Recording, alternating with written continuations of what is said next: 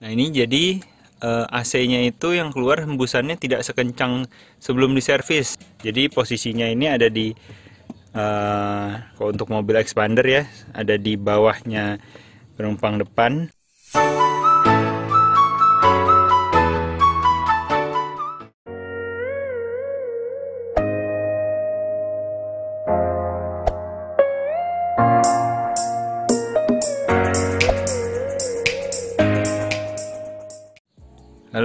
Assalamualaikum warahmatullahi wabarakatuh. Selamat datang di channel Breed Go. Kali ini kita akan uh, memeriksa filter AC ya. Jadi ini uh, rasanya itu setelah uh, servis 10.000 ini AC yang keluar itu uh, tidak kencang ya. Nah ini jadi uh, eh, AC-nya itu yang keluar hembusannya tidak sekencang sebelum diservis. Nah, itu ternyata pas dilihat 10.000 itu ganti filter AC. Nah, ini ya. Ternyata sudah ganti filter AC yang seperti ini. Nah, cuman kita rasa ini tidak kencang. Kita coba cek ya uh, filternya seperti apa. Kita coba buka di sini. Jadi posisinya ini ada di uh, untuk mobil expander ya, ada di bawahnya penumpang depan. Nah ini sebelah supir nah ini kita pertama caranya adalah kita lihat di sini. Caranya adalah tarik di sini satu kali aja. Tarik arah sini. Nah ini. Tarik nah ini ya. Nah ini. Setelah ditarik jadi seperti ini ya ini kabelnya kita singkirkan dulu ini untuk head unit. Nah ini di sini. Ini ada dua cenutan di sini sama sini. Di sini sama di sini. Nah ini sebenarnya dia hanya menggantung sini aja. Jadi ini bisa ditarik eh, sama kita tadi. Nah ini kita biarkan seperti ini aja. Mau dilepas juga boleh ini bisa dilepas. Nah ini lihat di bawah. Ini adalah uh, tempat filter AC nya Nah ini blowernya, kipasnya ada dalam sini. Nah ini tempat filter AC-nya. Nah ini kita kalau mau lihat buka uh, anginnya, udaranya, flow-nya tuh masuk dari atas sini, masuk ke dalam, ke bawah. Jadi air flow-nya arahnya ke bawah ya. Dari atas sini dia ke bawah. Dalam sini ada saringan. Nah cara buka saringannya gampang banget. Tinggal di ini ada kayak uh, cepitan ya. Nah ini tekan aja. Nah ke kiri buka. Nah seperti ini jadi ini hanya cantelan sebelah sini. Nah ini cantelannya nah ini tinggal dibuka aja. Nah, nah itu udahnya. Untuk filter udaranya kita buka kita tarik aja keluar. Nah ini airflownya ke bawah ya arahnya. Nah ini.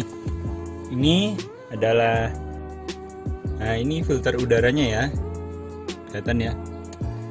Ini ada tulisannya ini kodenya kode partnya nah ini uh, airflow-nya ke bawah modelnya.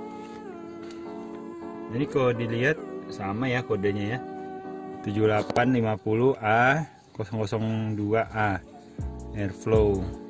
Nah ini original partnya dari MMKSI nah cuman kita bandingkan ya sama filter AC bawaannya. Seperti ini ya bentuknya ya. Yang ini yang bawaan yang baru beli setelah bawaan dari mobil yang masih baru nah ini terlihat ya perbedaannya ya. Jadi yang yang masih baru ini uh, bentuknya agak sedikit beda. Nah yang ini yang setelah penggantian part lebih tebal. Kalau kita lihat di sini untuk sebenarnya untuk ininya sama ukurannya. Cuman uh, untuk apa ketebalan uh, kisi-kisinya ini ini dirasa lebih tebal. Jadi inilah yang menyebabkan tadi kenapa AC-nya itu anginnya keluarnya sedikit lebih kecil. Jadi kita nanti kita tes perbedaannya setelah kita uh, mengganti dengan filter yang lama. Nah kita coba ini untuk ganti pasang lagi filter yang lama. Apakah uh, angin AC nya lebih kencang lagi? Ini kita uh, ganti dulu ya. Kita tes dulu filter lamanya. Apakah anginnya lebih kencang? Setelah uh, kalau benar berarti artinya filter yang baru ini uh, filternya terlalu tebal jadi uh, untuk angin AC nya itu jadi sedikit keluarnya. Coba kita ganti ya. Kita ganti.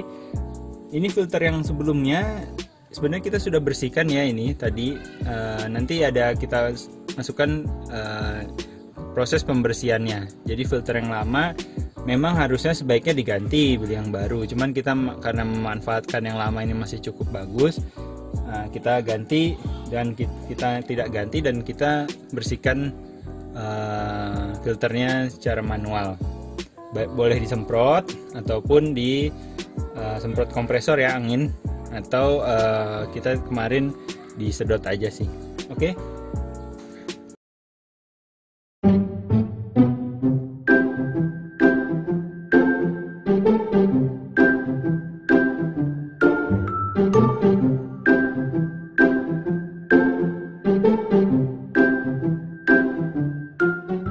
Ya.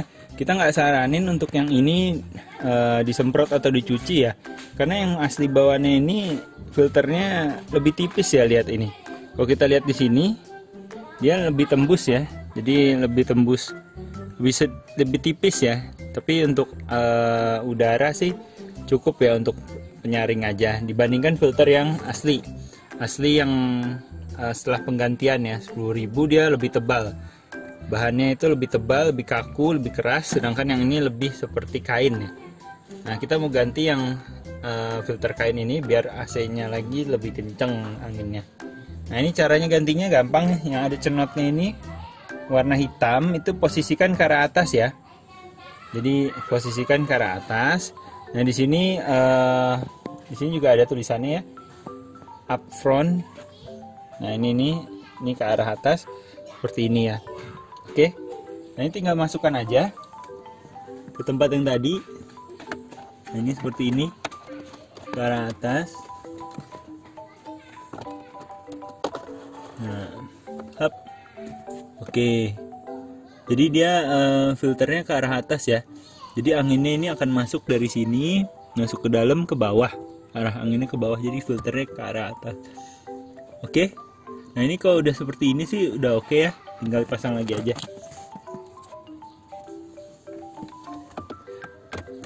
Nah ini pasang lagi. Tinggal di tag sampai bunyi. Nah. Nah ini sudah dipastikan tutup. Nah ini kita naikkan lagi ya. Ini tinggal dinaikkan. Caranya tinggal didorong aja. Ini kabelnya kita masukkan dulu ke sini. Nah ini tinggal didorong sedikit aja. Nah ini kalau mau lebih gampang nih sedikit nih masukkan ke dalam.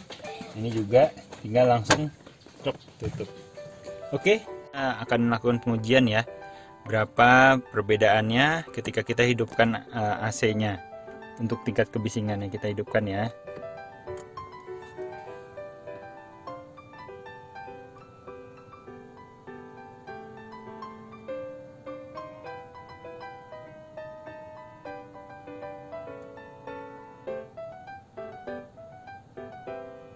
Nah, ini kisaran 68 ya. Dengan posisi yang sama, angin satu dia 68.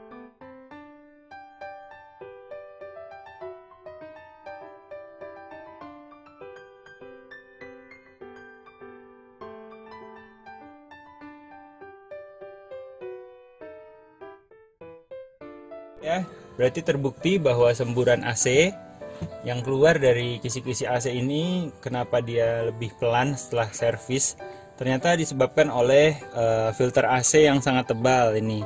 Jadi dia mempengaruhi uh, keluar keluarnya angin AC sehingga dirasa anginnya itu kecil dengan putaran angin yang kenop satu.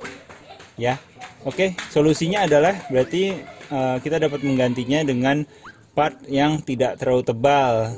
Nah, untuk itu uh, sekarang saat ini AC sudah kembali kencang. Jadi solusinya adalah mengganti uh, filter AC yang baru diganti ini dari hasil servis 10.000 menggunakan diganti dengan menggunakan filter AC yang sebelumnya bawaan dari pembelian awal. Oke, sekian. Jangan lupa like, comment, and subscribe jika bermanfaat. Assalamualaikum warahmatullahi wabarakatuh.